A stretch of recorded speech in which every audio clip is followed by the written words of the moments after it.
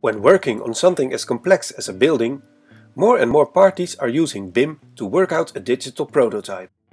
During the design and development process, many issues arise which need to be stored, managed and communicated to team members to solve. To achieve the best team performance during this process, we use BCF as a communication tool. Problems found in for example Solibri, that often is used for the quality control of process and models, are reported in the BCF format.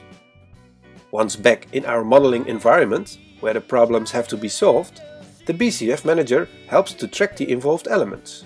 In this way, we don't have to search through a description of parts that are involved with the issue, but with a simple click on the screenshot, the problem is found and can be processed.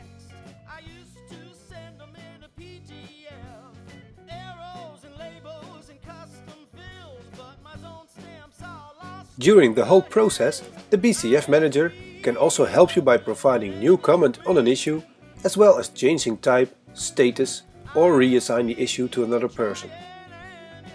In the BCF Manager, we can see at all times the complete history of an issue. This gives us an insight into all the comments of all team members, which are automatically stamped with initials, date, status and type.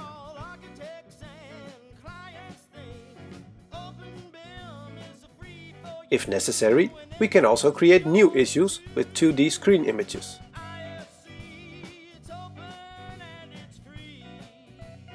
In these issues, elements can be linked, status and type can be set so they can be shared with all team members easily.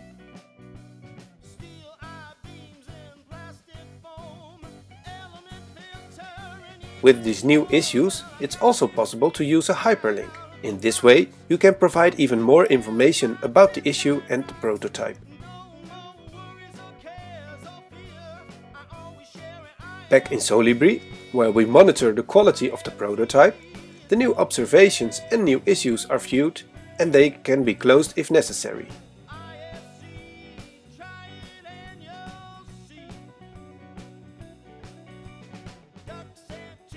This keeps everyone informed of the development of the prototype and creates an optimal preparation for the actual construction. We easily maintain total control throughout the whole process with the BCF Manager.